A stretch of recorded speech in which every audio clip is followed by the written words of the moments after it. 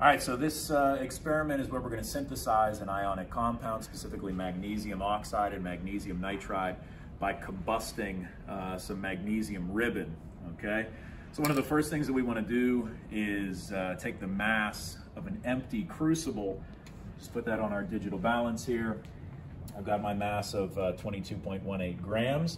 I'm gonna add to that a length of about 15 centimeters or so of the magnesium ribbon. Uh, just take the magnesium ribbon off the spool and I've kind of rolled it into a loose ball here.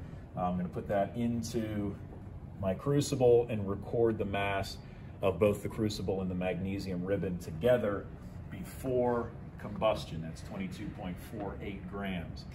So I'll put that on my ring stand. I've got that equipped with a clay triangle so that I can light a Bunsen burner and heat it rather intensely from underneath. Uh, I'm gonna make sure that I start with my uh, Bunsen burner here. Everything is closed. The little wheel, flywheel on the bottom is closed, as is the stem on the top. Uh, I can open the gas valve, right? Uh, this handle is gonna point in the direction that the gas is moving here so you know that this is open, but I don't hear any gas coming out because I've got that flywheel at the bottom closed, which present, prevents any of the gas from coming out.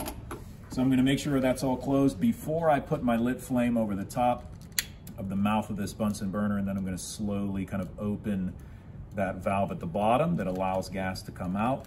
Once I catch a flame, this uh, wheel on the bottom is gonna allow me to adjust the height of the flame.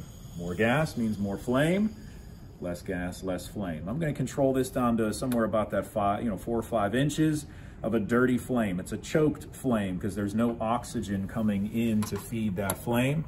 So right now I can tell that this is choked or that this is a dirty flame because of the fact that it's kind of yellowish orange in color. I want to clean this up and give it enough oxygen to make it a nice hot, clean blue flame. And I'll do that by spinning that stem. By spinning the stem, some air is allowed to come in and we feed that flame with oxygen and we see a more complete combustion. Once I get a nice kind of tight inner cone here. That's what I'm looking for. I want to see a, a clearly well-defined inner blue cone. Uh, that gives me a nice hot, clean blue flame.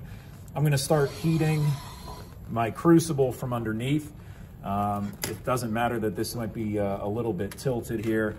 You can engineer something to make that a little flatter if you need to. One of the easiest ways to adjust the height of my uh, ring stand here, once I've got a flame underneath, is to use my crucible tongs uh, to support the front end of my ring stand and I can lower that down into the hotter part of the flame, which is right at the tip of that inner blue cone.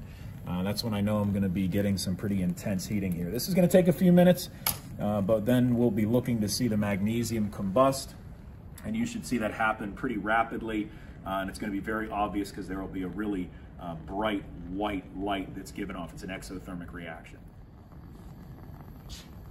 All right, so at this point you can see a highly exothermic reaction, uh, giving off lots of heat and light there uh, as a result of that so that we know that uh, chemical change has taken place. So we're gonna assess a couple of other variables to confirm that we've actually had a chemical change here in the production of an ionic compound, and we'll do that once we've given our crucible a chance to cool.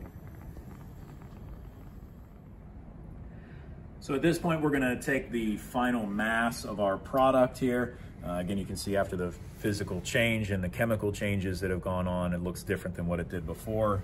Crucible and our magnesium products after the reaction, 22.60 grams. So after a sufficient amount of time, we've given our uh, crucible a chance to cool. Again, inside the crucible, you can tell that we have this white, now brittle solid. You might even notice that there's little flecks of yellow uh, that are inside of there. Those would correspond to the magnesium nitride uh, that has been formed. Our primary product is that white brittle solid. That's the magnesium oxide. Uh, another property of ionic compounds is that they are electrolytes. So if I take my solid after I've kind of crushed it up uh, with my stir rod, I can put that into a beaker. And if I add a little bit of distilled water to that, uh, just enough to kind of create a mixture. I can test the electrical conductivity uh, of this mixture. And if the products that were made are in fact ionic, uh, then they should conduct electricity. This is a very simple circuit board here. It's a conductivity tester that has a battery hooked up. These two metal prongs at the end, uh, because they are apart, the circuit is not complete and therefore the light bulb does not light. But if I touch it to something that is electrically conductive, like my ring, the red light turns on here. So uh, if I put the conductivity tester into our solution, our ionic products that should be electrolytes should turn the light on, just like we see here. Red light comes on whenever it's in solution.